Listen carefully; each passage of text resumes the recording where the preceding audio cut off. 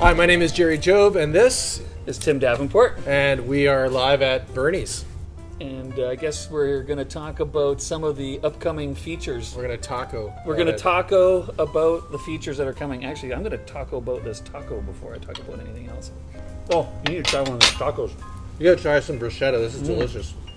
That's a magical That's taco. house-made sourdough focaccia. We got some heirloom tomato.